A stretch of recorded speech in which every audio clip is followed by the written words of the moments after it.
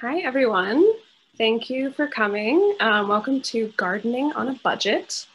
Um, I want to say thanks to our sponsors, Solid Waste Management District, St. Louis Jefferson County, as well as Missouri Department of Natural Resources. Tonight we have Crystal Stevens um, from Flourish, as well as Tend and Flourish School of Botanicals, um, joining us for Gardening on a Budget. Um, this is part of our Reduce, Reuse, Recycle series of virtual programs. Um, so tonight we're going to be learning about reducing your food waste, um, as well as reducing um, our carbon footprint and packaging by growing your own food um, and repurposing materials. Um, so you can check out the rest of our um, previous recording, recordings on our website, which is earthday-365.org or our YouTube, which is Earth Day 365. Um, We've got a couple other reduce, reuse, recycle programs, as well as um, a handful of other programs. So if you all have questions tonight, um, feel free and pop them in the chat as Crystal is presenting, um, and I will read them out to her at the end of the program. Um, so go ahead and pop them in there if you don't want to forget your question. Um, thank you for being here, Crystal. Take it away. Thank you. Um, again, my name is Crystal Stevens, and thank you for having me. I'm with Flourish. My husband and I co-founded Flourish. It's a farm, a plant nursery. We do an apothecary, and then we offer design and education. Uh, you can visit us at growcreateinspire.com and on Instagram and Facebook at Grow Create Inspire. Uh, we're also on the web with uh, Tend and Flourish School of Botanicals, which is, um, we do an herbal foundations program. And that was founded by Alex Quetham and I as a way of making herbal medicine accessible to all. So I don't have it listed here, but at Tend and Flourish School on Instagram and tendandflourishschool.com.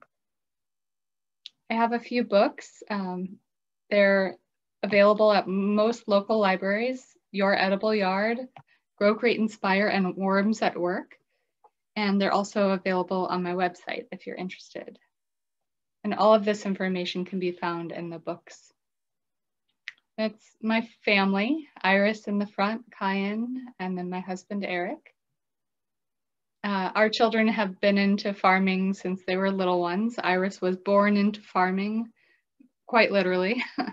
um, similar to the stories you hear about the women in the fields giving birth and getting right back to work, it wasn't that extreme with me, but it was very close. There's little Iris at just three days old uh, that we still had to bring in the harvest because we ran a, a 200 person CSA at La Vista CSA farm. And then uh, that's her. I bribed her with ice cream and a few dollars to take a reenactment photo. And there's Cayenne bringing in the heirloom harvest. So I have a lot of photos to get through and a lot of slides. Um, I want to give you as much information on gardening and creating an edible oasis in your own backyard as possible this evening. So if you do have any questions, just uh, pop them in the chat and we'll cover them all at the end. So one of the reasons why we want to grow our own food is to do our part to prevent more soil loss. It takes 500 years for 1.5 centimeters of topsoil to form. That's a lot of soil loss um, that we have been doing to the earth in the last, since the Industrial Revolution with monocultures and um, big ag and erosion and deforestation. All of these things are really hurting and, and uh, depleting the soil. So it's up to us as stewards of the earth to build healthy soil use our focus on our handprints rather than our footprints. And that it, I believe that quote was Diego Footer. Um, so really focusing on uh, building healthy soil is a big part of what we can do as gardeners. And that actually is quite easy and affordable to do. Simply add organic material and I, will cover a lot of that. Um, as we all know, our um, world, world food um, production is very, it's causing so much detrimental practices to the earth. It's really depleting the soil, it's harming the waterways, uh, you know, putting all of these uh, carbon dioxide into the environment is really hurting the environment in a, a on a large scale. So focusing more on small scale agriculture, supporting local farmers, growing what you can is really going to help um, prevent a lot of this destruction to the earth.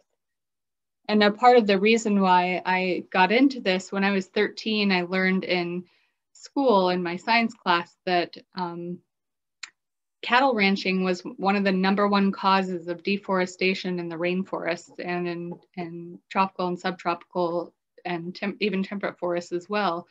So I became vegetarian at age 13 and kind of went back and forth. But since age 13, I've spent 90% of my time uh, being vegetarian. And that's not for everyone. I'm not pushing that on anyone. It's a personal choice. But our world food production really does have some pretty uh, harmful impacts. A picture speaks for itself. This is Destiny and Jeremy and Iris picking peas at La Vista. And here's a conventional strawberry farm to the right. Which one would you rather have your children or grandchildren pick from or eat from? So this is organic on the left, not certified organic, but definitely grown or organically. And then with some other, this first part of the presentation is just talking about a lot of tips and, and why garden using sustainable methods or why garden using regenerative methods instead of conventional methods. Well, with intensive tillage, the roots reach a hard pan, and that's due to compaction of the soil from over tillage. And then with long-term no-till, there's this beautiful network of biopores that can allow water to filtrate through the soil, that can allow the microbes to have a really comfortable ecosystem to live in. And the roots grow deeper in the shrub, which creates stronger plants. So what can we do? One practical solution is to build soil organic matter through compost, vermicompost, sheet mulching, and building raised beds. Building raised beds and sheet mulching um, can be done on a budget using reclaimed materials, and so can compost and vermicompost as well. So those are the, the four main things that I'm going to be covering throughout this, and I'll tell you different, uh, my favorite plants and uh, different groupings of plants to grow as well. A lot of our methods over time have been adopted through permaculture, which is perma permanent agriculture or permanent culture. And those ethics are care for the land, care for the people, and return the surplus or reinvest the surplus. So earth care, people care, fair shares is another way to, to look at the ethics. And it really is um, a beautiful design process that looks at the big picture and how can we regenerate the earth rather than keep destroying it. Uh, a lot of other aspects of our work includes soil health. So we do a lot of research on Elaine Ingham's The Soil Food Web, looking at how all of these key players in the soil wor are working in symbiosis to create this beautiful, rich, healthy soil. The soil food web focuses on everything beneath the layer of the soil and right above it within the first few inches. And oftentimes it uh, relates to the trees as well and the mycorrhizal relationship with the fungus and the trees. So if you have a moment, you can um, check out this video, which is called What is the Soil Food Web on YouTube. It's a very informative video if you're interested in soil ecology, soil, um, looking at the soil in through a microscopic level. So we focus primarily on soil renewal here at the farm, at Flourish Farm. We like to look at nature as a model. So no one ever had to go out and um, fertilize an old growth forest. Nature is this beautiful representation of what's happening, how new life comes to be. The leaves fall in the fall, they um, scatter, the mycorrhizal uh, fungi comes in and, and takes over the forest floor and the decomposers come to play. So it's a really beautiful relationship to witness how seeds sprout and how things come to life in, in a forest. So using that as a model to our to mimic in our gardens is a, is a beautiful process. So compost bins um, can be recreate, created with a number of free resources, including reclaimed lumber.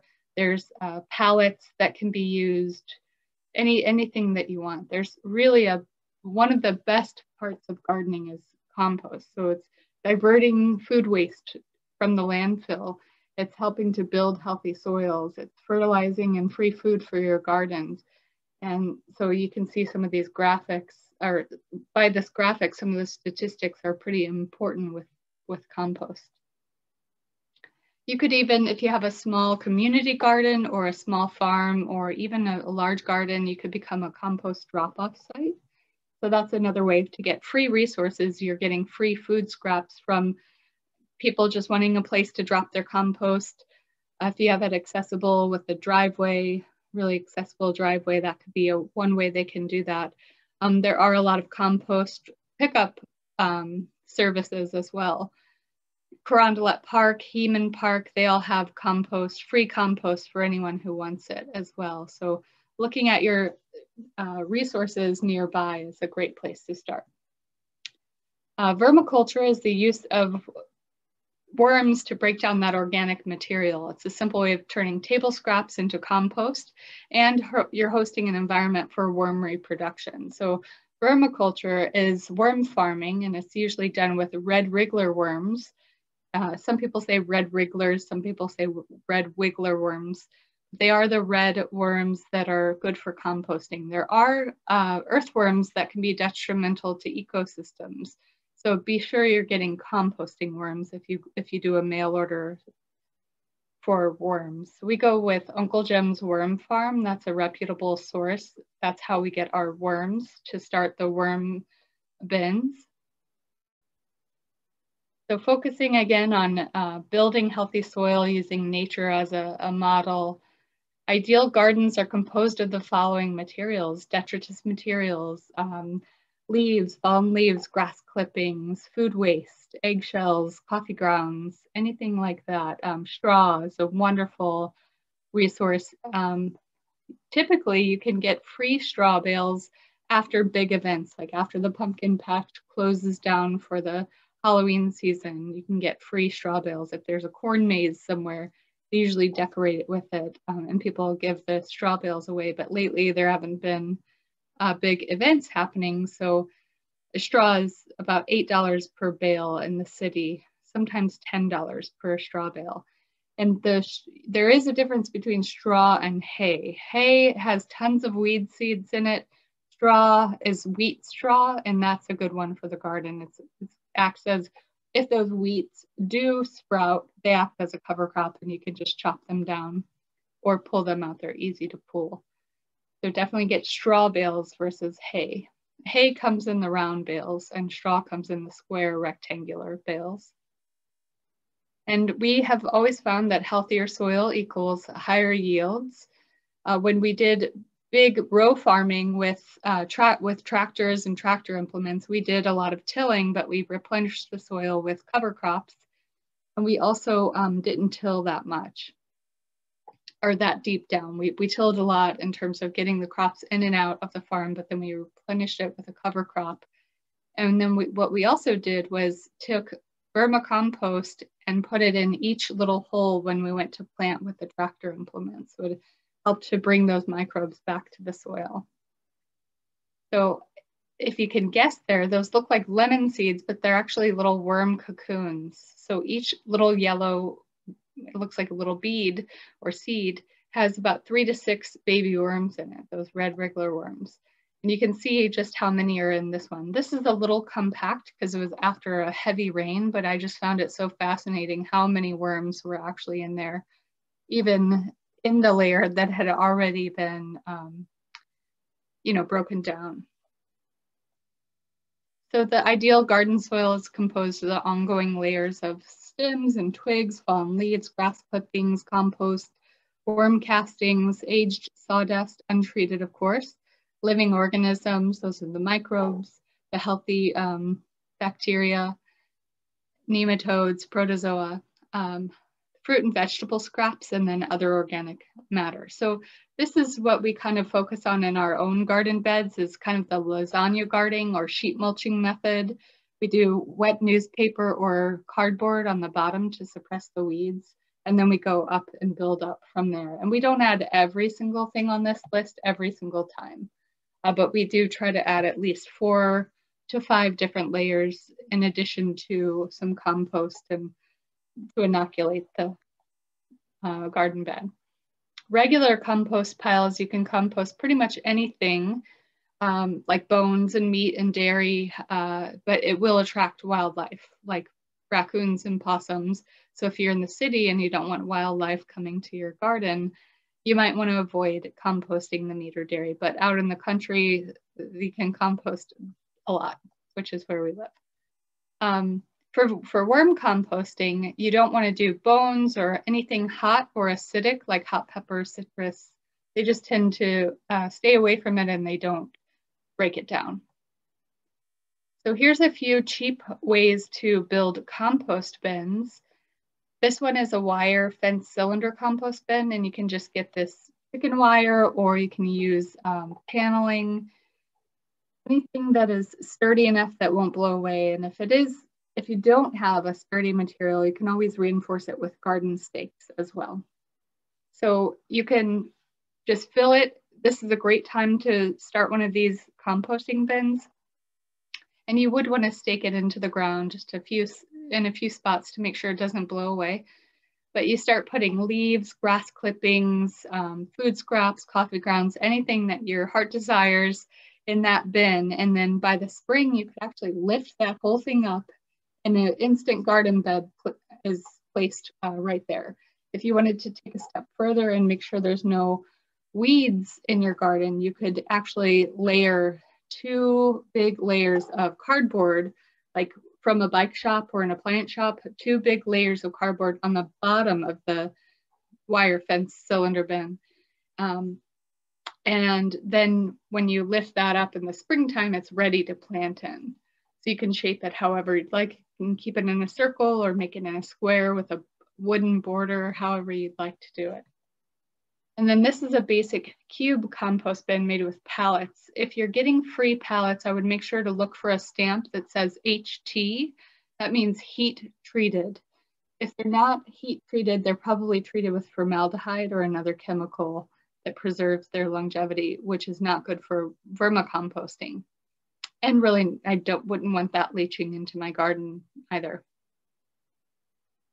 Then this you can go a step further and make a trap door for uh, the vermicompost bin so that you can easily harvest the worm castings at the bottom. So this is a standard compost bin that you can do a lot of stuff in. This is a vermicompost bin where you wouldn't want to add the citrus or the onions or anything that they won't break down, like no bones. Um, and then the trapdoor, again, you can lift those slats up and help, I will help you put a shovel or a spade in easily and then harvest those worm castings. And a lot of people are scared to hurt the worms when they're harvesting the castings. I have found that it's very useful to put uh, half of a hollowed out watermelon the night before you're going to harvest the castings and they all get inside that watermelon. So typically they're all inside like a little bowl of spaghetti. Here's some fun examples of way, ways to have closed loop systems where you can have rainwater catchment and it's um, coming off of your gutters, off of the roof of your house. The rainwater is collected with a hose. You would probably have to have a pump to get it to go to where you need it. Um, but you could have an outdoor sink that where you wash your veggies from the garden. And when that water drips down in the bucket, you can then pour it over the, the vermicompost bin. Um, if you do this, you would want to have one um, bucket or bin with holes at the bottom. So you don't want the worms to drown. So the basically the bottom one would be like a catchment and the top one would be where the worms are and you they won't drown because there's enough material in there to where you slow, slowly pour the water. And then what's collected at the end is not actually worm tea it's called leachate. But i have a friend who has been using leachate to water her crops for years and she has 12 foot tomatoes. So um, some you know um, soil scientists would say or even chemistry people would say um, or biologists would would say not to use the leachate because there could be harmful bacteria. But if you know exactly what's in your bin, then you should be good. And as long as it's an aerobic environment, not an anaerobic environment, it should be good to use.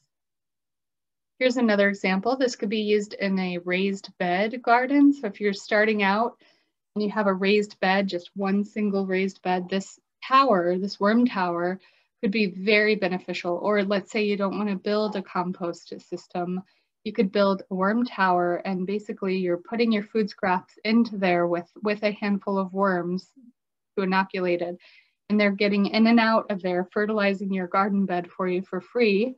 You don't have to fertilize it. They're doing all the work for you and your crops grow big and strong and healthy. And that works for school gardens very nicely as well. And then in permaculture, this is called stacking functions, where you can have uh, multiple yields from one thing. So this is a rabbit hutch where the rabbit is, you know, going to the bathroom and it falls down and you can put the worm, the worms mixed in with compost with the rabbit manure and that turns into really nutrient rich fertilizer for your garden. And meanwhile, you can use the rooftop to grow seedlings. Usually seedlings, um, we start seedlings outdoor on outdoors on tables under shade, excuse me, under shade trees, usually around Memorial Day. So you don't have to have a greenhouse after the weather gets really nice. Um, this is an adult redworm. Uh, it has um, five hearts, which is really fascinating. And it has these segments which help it to move in the cilia. And then they actually um, are very sensitive to light and they don't have eyes. They just go, they move through the soil uh, with, the, with the cilia, with the feelers. They can double their population every 90 days. So one pound could double every 90 days. So you could have a, lot of worms on your hands and you can share them and, you know, give them away as gifts. In fact, uh, one, the first time we got into this, my son was about four years old and I told him I had a present coming in the mail for him and it came and he got a box and he opened it and it was a bag of red wriggler worms. So I think he thought he was getting Legos, but he got uh, red worms but he ended up naming them and helping us with the vermicompost and taking good care of them. Every day he wanted to go feed the worms. So it was really neat to see him turn into a little gardener. Um, so this is um, a segment about water, but I'm, I'm just gonna skip over this part. I'll talk a little bit about it. I don't think we have enough time to really cover it, but there's all of these drainage basins and the Mississippi Missouri Drainage Basin is a huge one. So the Mississippi River Valley, and you can see all of the, so the Missouri River watershed, the Mississippi and the Ohio and the Arkansas all feed into the Mississippi and Missouri drainage bin, basin, excuse me, and it goes down into the Gulf of Mexico. So you can see the different beautiful, this is a beautiful rendition of all the watersheds and the the, the way that the rivers flow and how they meander and how they go down into this drainage point. Well, uh, this is a neat video. If you Google search this um, Mississippi watershed, it just shows you how the water flows there. Well, the reason why I'm showing you this is because, let's go back. You see how it empties out at the Gulf of Mexico? That's called a dead zone. So because there's so much corn and soy and, and big ag and erosion and uh, industrial um, compounds and big factories along the Mississippi River, it all leaches out down into the um, this dead zone, at the basin drainage point. And that's where fish have been deprived of oxygen because there's just too much chemical uh, composition in the water to for fish to actually breathe. And there's the red tides. You can see a lot of it is from cities and runoff and rainwater or um, stormwater rain, runoff, farms, factories along this rivershed. And um, unfortunately, this is causing this to happen. So if you are ever at the ocean during a red tide zone, you will know that this is what happens. Thousands of fish, and I, I'm sorry to show you this. This is a video that I took when our family went on a to a family reunion, but the whole beach side was thousands of dead fish due to the runoff and the, the red tide and the oxygen deprivation of the fish. So the reason I'm mentioning this is because it's very important to now more than ever for us and the environment to use organic practices and regenerative practices and to help prevent erosion and to help um, everyone in our family and community be more self reliant so we can start focusing on local food communities. Um, one big aspect of this is, you know, keeping the rainwater, channeling the rainwater. So the Metropolitan Sewer District has Project Clear, which is trying to mitigate stormwater runoff. And so a lot of this, this is Matt Lebon's backyard. It's a rainwater catchment system where he catches the water from his roof, store, stores it in the tanks, and then waters his garden with it. This is not his garden, but this is another aspect of slowing the flow of water. So if you have a hillside that has a lot of erosion or a lot of runoff at the end of a, a big um, slope, you can slow the flow by planting natives, by terracing it, by adding rock features or rock walls to slow the flow. Okay, so I just had to get all that out there before we could start the actual content of the presentation. So gardening on a budget, uh, you can start with a basic garden bed, and this is another example of it. A basic garden bed using fallen leaves, or I'm sorry, fallen trees or logs as the border. You can do cardboard to prevent weeds, and then burlap sacks and chip mulch to um, add that mycelial lever, layer as well as uh, suppress the weeds. You can see there's a bottom cardboard layer to suppress the weeds and then there's the chip mulch to help suppress the weeds even further, but also the chip mulch, add, chip mulch adds a mycelial layer to it as well. So the mycelium have somewhere to grow. And then you can get St. Louis compost delivered um, or you can go pick it up. A truckload is, I believe, $30.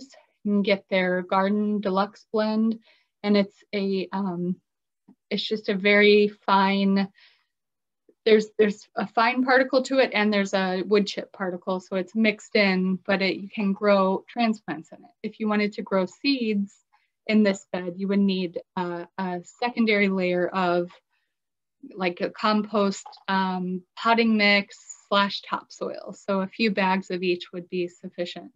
And those usually run about $3 a bag. It depends on where you go at Bayer's Garden Nursery in the city, they're a little cheaper. So you can also do um, raised beds with reclaimed lumber. Um, you can fill them with chip mulch and then fill them with topsoil and then compost on top. I really like to use mushroom compost. But if you have a a source for soil that's free of weed seeds. That's the most important thing. It should be a, um, a blend that's OMRI certified, which means that it's organically produced.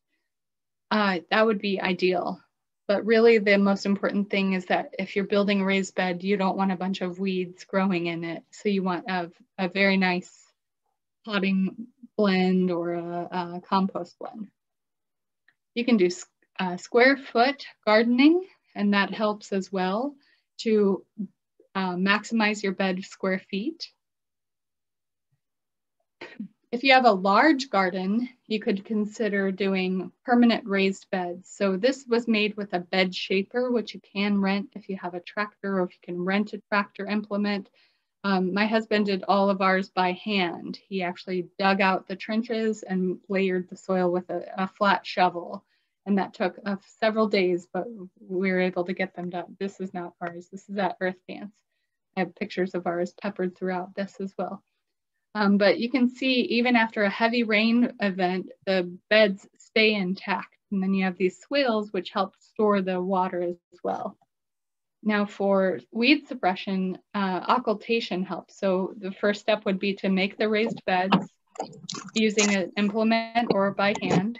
And then you can um, lay a big tarp over them. This would be at the perfect time to build your beds before the ground is frozen.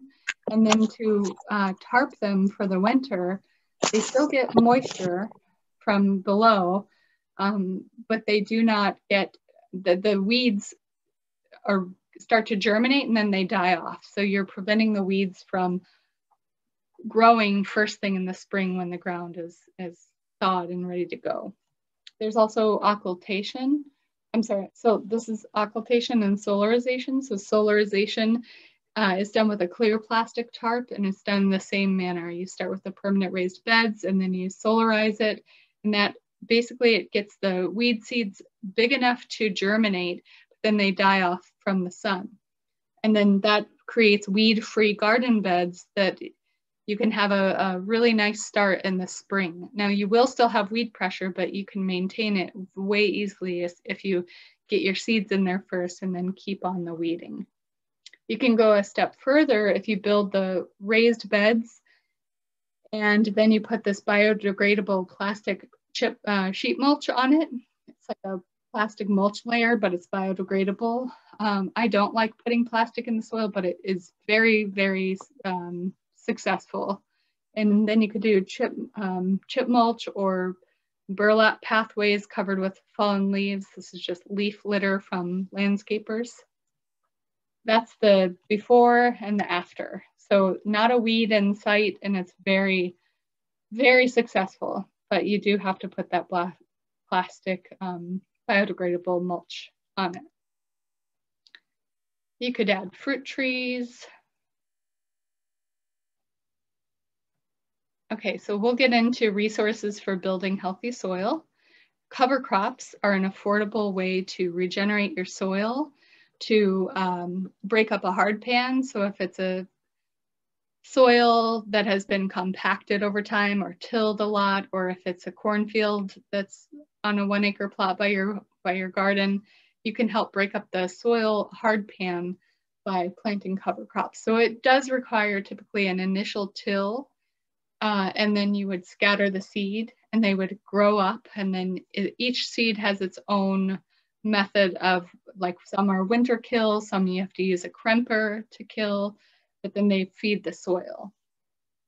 Red clover is a good one. Red clover can still be grown right now. It, it is a winter cover crop, so it um, sets roots in the winter and then it starts to leaf out and bloom in the spring. Hairy vetch is not also a really good one, nitrogen fixing. That's the hairy vetch flowers. Uh, other resources for building healthy soil are leaf litter. So leaf litter works really well. So again, um, the landscapers could drop leaf litter off to your garden if you have a nice driveway that's accessible my husband and I used to go on dates at 4 a.m. Most couples in their 20s were getting home at 4 a.m. We were getting a good night's rest, going to bed at 8, 8, 8 p.m. and getting up at 4 a.m. and driving around looking for people's lawn bags filled with leaves so we can scatter them in our garden. You could also have stockpiles of uh, St. Louis compost. So if you have a pickup truck or have a friend with a pickup truck, you could go get a truckload for $35 and you could just keep adding soil to your garden year after year. You can have big piles of chip mulch. And if you have a large tractor, um, by any chance, we still don't own a tractor and we've been farming for over a decade. So it's okay if you don't. Um, we've been using other people's tractors for a, a, long time, but do not currently use one. So you could um, make your own giant compost windrows, it's called a windrow, by turning the, all of these organic materials together.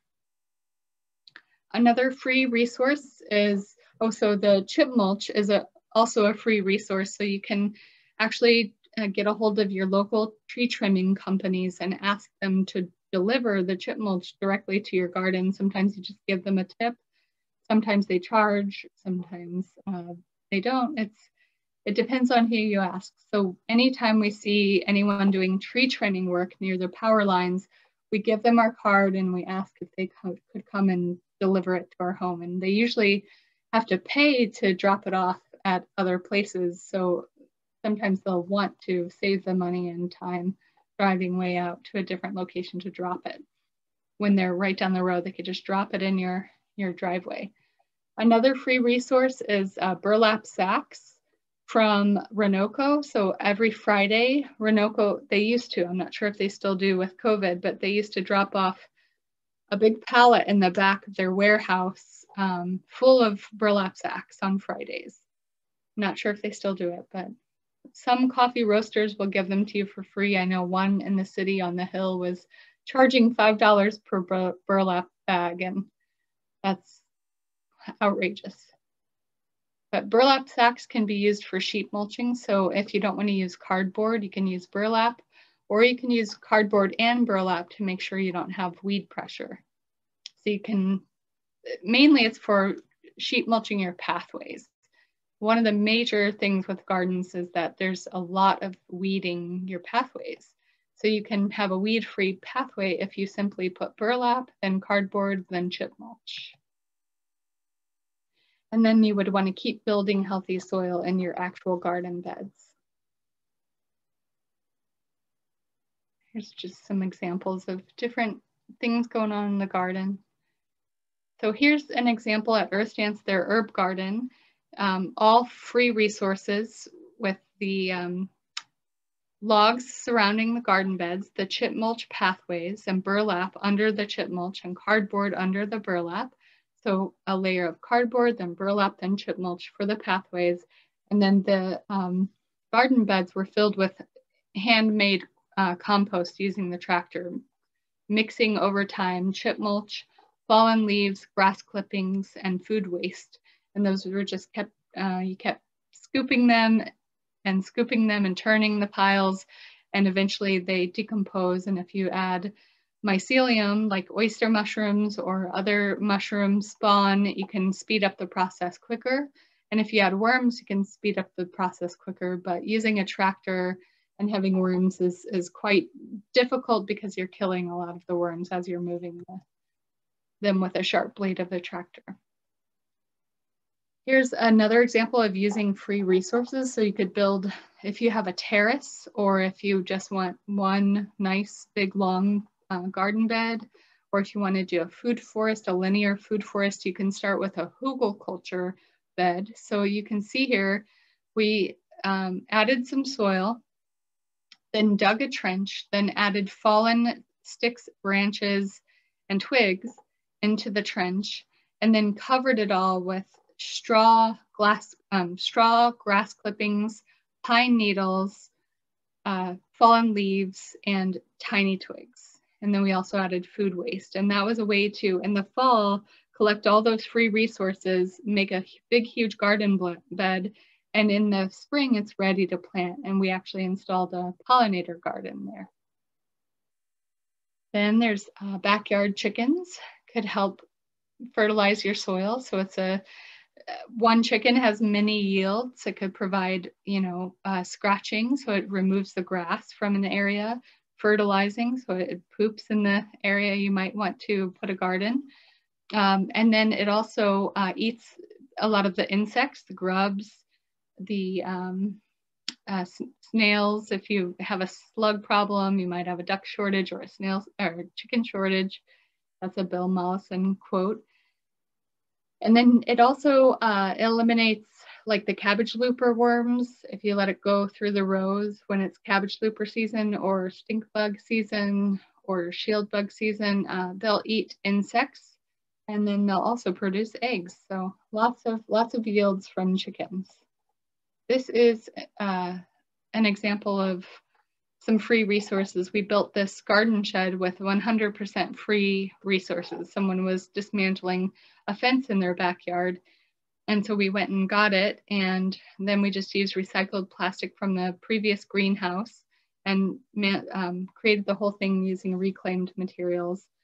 And then we added on a chicken run because here along the Mississippi River, the chickens were getting eaten by hawks and eagles. So we had to fence them in. So we have a movable coop that we move around the garden. And then we have uh, a chicken run. We do let them free range if we are working in the garden, but typically the, the hawks, the owls will perch right by them.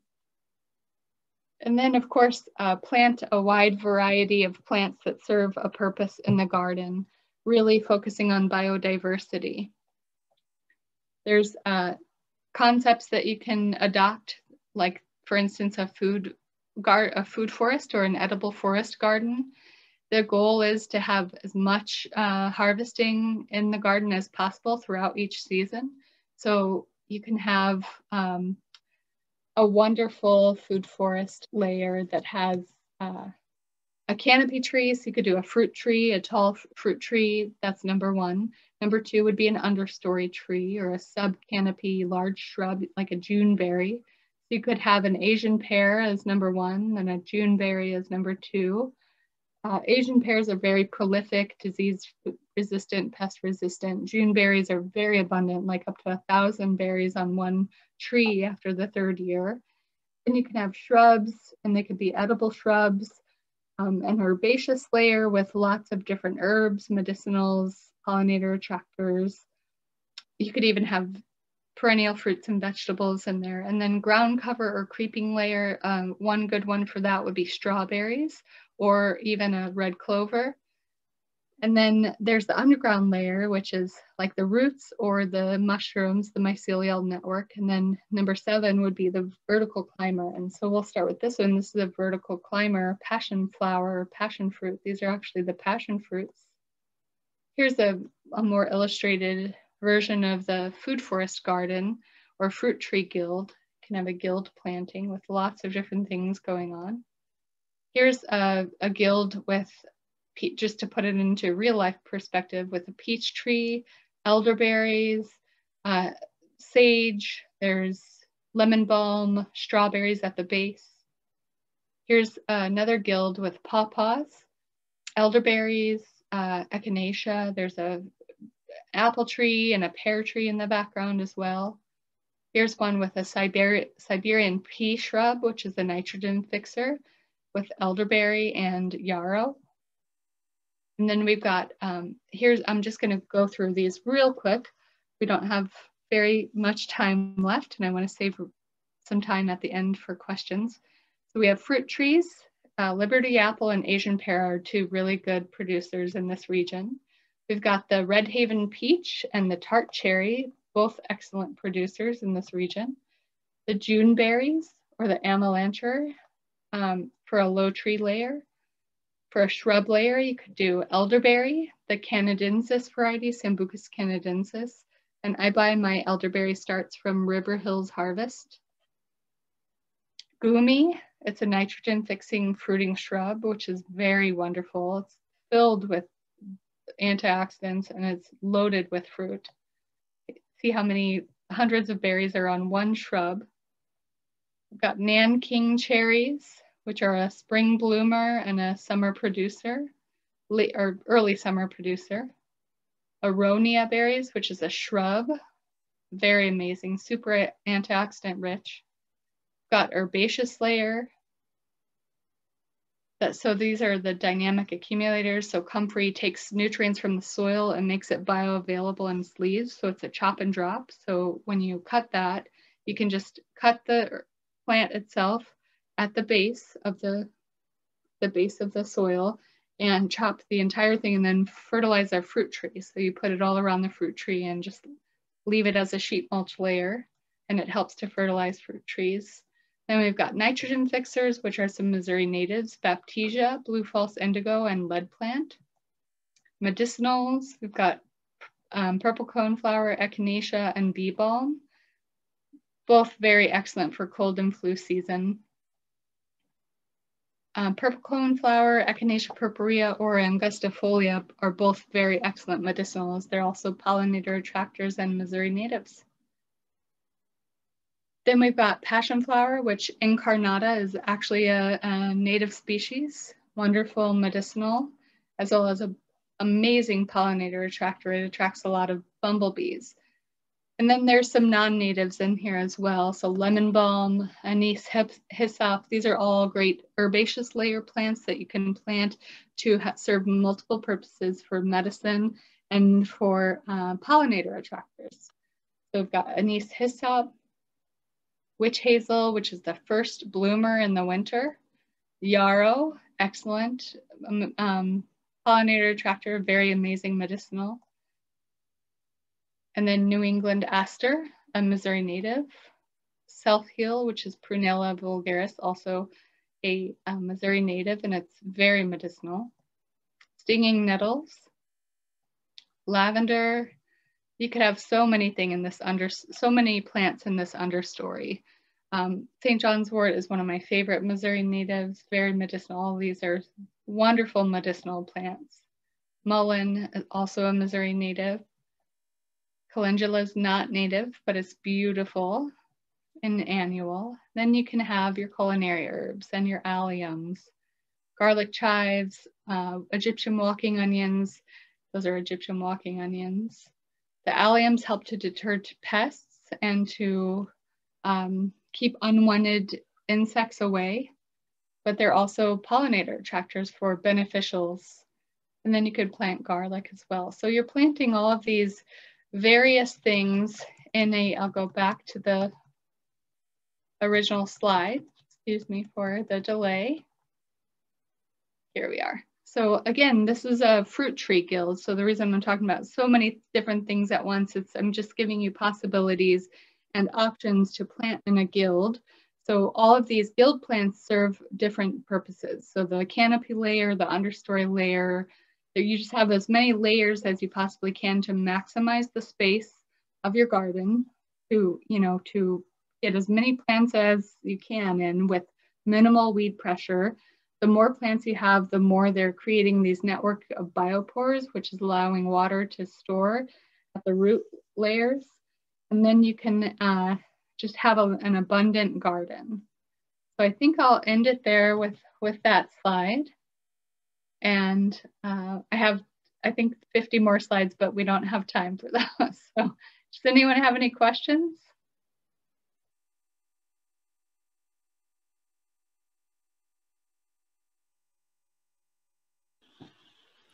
Thanks so much for coming on, Crystal. Um, I'll give people a minute to put stuff in the in the chat if they do. I have a compost question. Yes, we have a very DIY compost bin uh, in the in our our backyard um, in a little tiny section.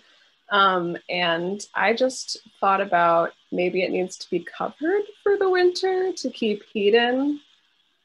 Thoughts Do about that? Worms? Like no, it's just um, like wood panels, and then I'm just putting food scraps and carbon thing, which is mo- things which have mostly been brown bags because we live in a duplex and I don't do yard work here. So, um, sure. but then I've, I've never covered my compost bin. Okay. The only reason I would cover it is if there's worms in there and you don't want the raccoons to eat the worms. Um, which there might be worms if if you're yeah, there's probably worms, but I didn't put them there. so you can. Uh, I usually let the elements get into the compost bin. Um, you know, sometimes I left it open, sometimes I closed it. If there's going to be three feet of snow, I usually put a cover on it just to protect the worms. Okay, cool, cool, cool. We'll think about covers. Um, okay, here we go. Bob, do you have any tips for storing the harvest so as not to waste the food I grow? Sure. So I like fermentation and freezing. Canning can be a bit daunting and expensive, so I prefer, I know plastic is not something we all want to use, but Ziploc bags, freezer bags is what I store a lot of fresh chopped up vegetables. So as I'm preparing a meal in the peak of the season, I'll just chop a few extra peppers and put them in Ziploc bags or chop a few extra tomatoes and save them for a rainy day. Um, for, and then I like to ferment a lot. So fermentation, lacto fermentation, just chopping things up and pouring saltwater brine over them and I leave them out on the counter for a couple days and then refrigerate them. And you can have a nice probiotic pickle, which is pretty much what, what it tastes like when it's fermented.